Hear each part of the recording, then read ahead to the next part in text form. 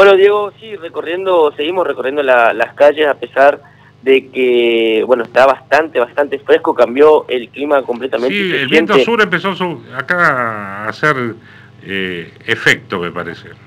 Así es. Bueno, me acerqué hasta eh, donde es el inicio de la, de la peatonal sobre la calle Rivadavia, más precisamente donde se encuentra el reloj histórico, porque, bueno, hay un gazebo con la gente de eh, Acción Social, en este caso, eh, bueno, están realizando una de la municipalidad justamente, están realizando una actividad por el día de ni una menos. Eh, tuvimos la posibilidad de hablar con la directora de cuestiones de género, quien es la señora María Silvia Carrizo, así que si les parece escuchamos eh, que nos cuenta la actividad que están realizando el día de hoy. Dale. Hoy estamos acá en el reloj histórico, este, haciendo actividades interactivas e informativas con la ciudadanía para sensibilizar, concientizar eh, sobre las violencias de género, sobre los femicidios que siguen ocurriendo, este, y bueno, aprovechando eh, la oportunidad para para fomentar un poco más eh, y tratar de, erradicar y eliminar violencias. La gente pasa, se les comenta qué significa hoy día 3 de junio, las invitamos a participar de las actividades que tienen que ver con detectar si en algún momento eh, han sufrido ¿no? algún tipo de violencias, hay muchas violencias que están naturalizadas por, por las mujeres, informarle también dónde, dónde, dónde estamos ubicados. Se han acercado hombres a preguntar, eh, a contar situaciones de amigas, por ejemplo, o de parejas. Es un lugar en donde cualquiera puede participar, digamos. ¿Cómo intervinieron ustedes con las dos detenciones que se dieron de las mujeres, eh, de la enfermera y de la, detención de la mujer en Pozo del Tigre?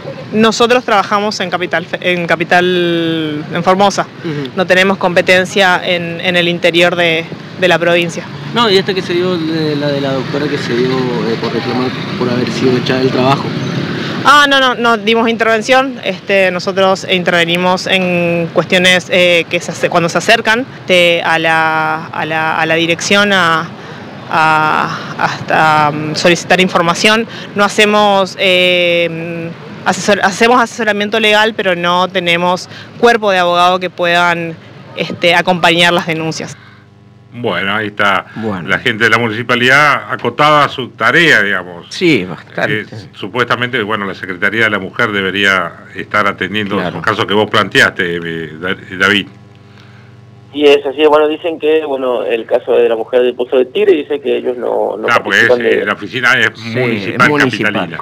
Así es, eso, ellos solamente trabajan acá en Capital. Bueno, lo de la doctora sí fue acá en Capital, pero ellos no tuvieron intervención, según lo que cuenta María Silvia Carrizo, como les decía, que es la directora de cuestiones de género de la municipalidad. Bien, gracias. Y creo que la agencia, la gente de algunos gremios está también ahí, docentes autoconvocados. No, exacto.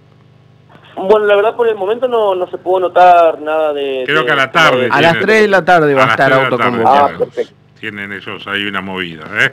Así que nos mandaron acá la invitación eh, para justamente desde la Plaza San Martín hasta tribunales sobre la San Martín se van a eh, manifestar la gente de este sector sindical de docentes autoconvocados. Gracias, David. Gracias. Bien, última pausa del día.